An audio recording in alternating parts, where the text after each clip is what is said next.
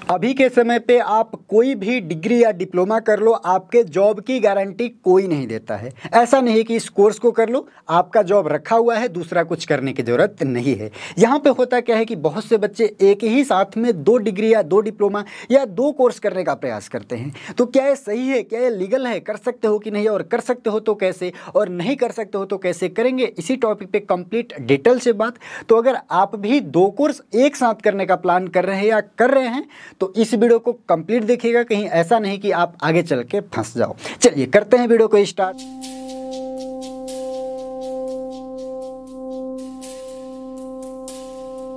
Start hello friends मेरा नाम है उदित नारायण विश्वकर्मा और स्वागत है आप सभी का उदित फार्मेसी के इस ऑनलाइन लर्निंग प्लेटफॉर्म पे। देखो मेरे डियर बच्चों, अगर आप कंप्लीट जानकारी चाहते हो तो वीडियो को लास्ट तक देखना, मैं गारंटी के साथ आपको बोल सकता हूँ कि इस वीडियो को कंप्लीट देखने के बाद, दो कोर्स करने के बारे में आप सोच रहे हो या कर रहे हो, आपके मन में जो भी कन्फ्यूज़न है वह दूर हो जाएगा। चलिए करते हैं वीडियो को स्टार्ट बात करते हैं यहाँ पे दो डिग्री या दो डिप्लोमा या दो कोर्स एक साथ करने के बारे में। देखो, कोई भी कोर्स होता कितने प्रकार प्रकार का है। तो एक होता है डिस्टेंस और एक होता है यहाँ पे आपका रेगुलर डिस्टेंस मतलब वह डिग्री या वह डिप्लोमा जिसको आप घर बैठे करते हो। कॉलेज या यूनिवर्सिटी जाने की ज़रूरत नहीं पड़ती है। एग्ज़ाम के समय आपको जाना पड़ता है और बहुत से ऐसे भी कोर्स होते हैं, बहुत से ऐसे भी यूनिवर्सिटीज़ हैं जो कि आपको ऑनलाइन एग्ज़ाम की भी सुविधा देती है जहाँ पर आप घर से ही एग्ज़ाम दे सकते हो। तो कहने का मतलब यह है कि पूरी तरीके से ऑनलाइन घर बैठे आप कंप्लीट कर सकते हो। पूरी तरीके से यहाँ पे आपका प्राइवेट डिग्री या प्राइवेट डिप्लोमा होता है।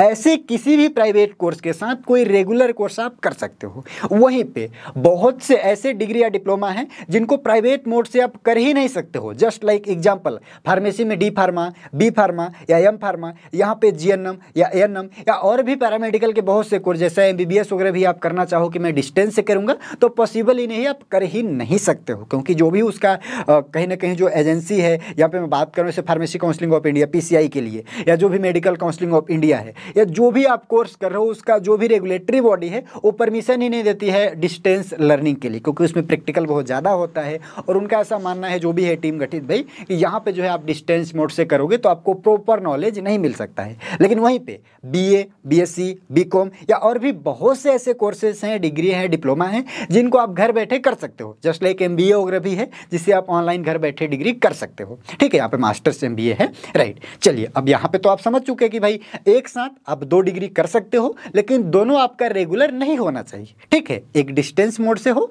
और एक यहाँ पे आपका रेगुलर मोड से हो। इसमें थोड़ा सा और एक्सप्लेन करें हम। तो जस्ट लाइक समझो कि मैं एक इंसान हूँ। मैं यहाँ पे कर रहा हूँ भाई डी फार्मा रेगुलर मोड से। ठीक है? हमें रेगुलर कॉलेज में जाना होता है सेवेंटी फाइव परसेंट अटेंडेंस वहाँ पे कंपलसरी है। नहीं तो हमें एडमिट कार्ड नहीं मिलेगा अकॉर्डिंग टू रूल ठीक है? यहीं पर हमने एडमिशन ले लिया भाई यहाँ पे बी में। वह भी रेगुलर है, वहाँ भी सेवेंटी अटेंडेंस कंपलसरी है। तो क्या पॉसिबल है कि एक ही इंसान दोनों जगह प्रेजेंट हो सकता है। तो यहाँ पे आपका भी जवाब होगा, नहीं। तो बिल्कुल जब नहीं प्रेजेंट हो सकते हो तो नहीं कर सकते हो। लेकिन वहीं पे बीएससी हम कर रहे हैं प्राइवेट मोड से, जहाँ पे हमको कॉलेज जाने की ज़रूरत ही नहीं है तो हम कर सकते हैं, राइट? क्योंकि यहाँ पे हम डी फार्मा रेगुलर कर रहे हैं और बीएससी मेरा डिस्टेंस मोड से है, केवल मुझे एग्ज़ाम देने जाने की ज़रूरत है। तो ऐसा डिग्री या डिप्लोमा आप एक साथ कर सकते हो, दो डिग्री भी आप करना चाहो तो कर सकते हो। इसी के साथ कोई सर्टिफिकेट कोर्स भी आप करना चाहो जो कि डिस्टेंस मोड से हो तो आप कर सकते हो। लेकिन कहीं कहीं बच्चे फंस जाते हैं एक ही समय में अगर दोनों का एग्ज़ाम होने लगता है तो फिर डिपेंड करता है कि भाई हम किसका एग्ज़ाम दें, क्योंकि एक कोई ना कोई छोड़ना पड़ेगा,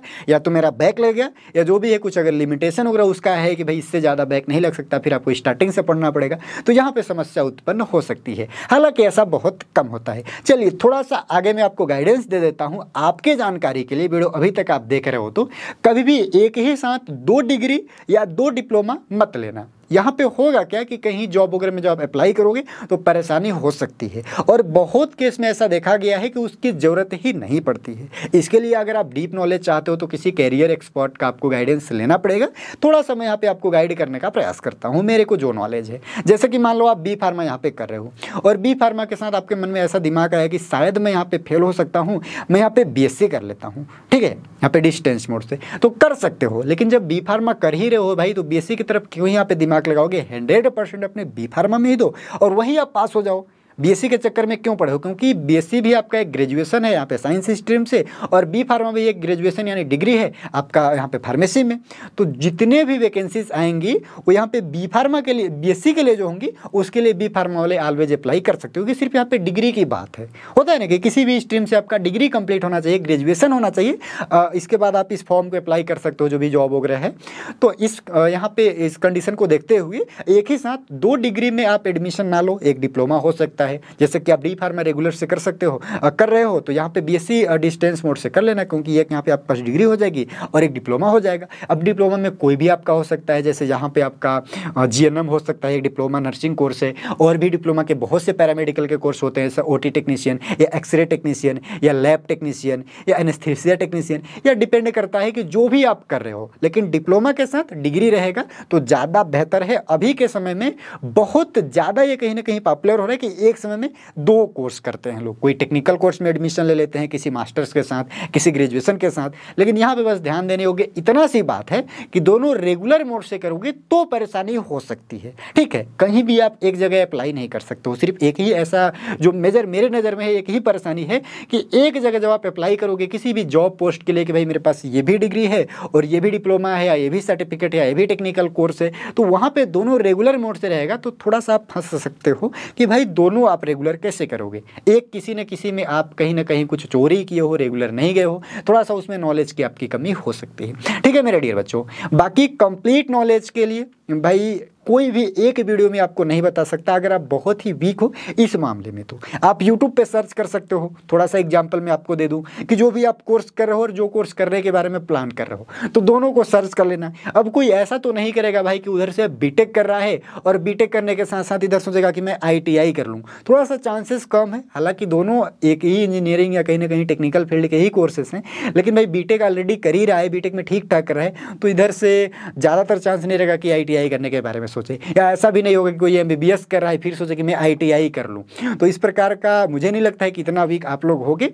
और हो सकता है कुछ स्टूडेंट के मन में थोड़ा थोड़ा अलग अलग तरह कन्फ्यूज़न होगा। तो कमेंट करना, हम भी रिप्लाई देने का प्रयास करेंगे। बाकी ऐसा बहुत बड़े दुविधा में फंस गए हो मेरे डियर बच्चों तो किसी कैरियर काउंसलिंग का एडवाइज ले लेना आप। थोड़ा जो भी उनका चार्जेस वगैरह होगा पे करके, ये सुविधा मैं अभी प्रोवाइड नहीं करता हूँ। ठीक है, मिलते हैं किसी नेक्स्ट वीडियो में।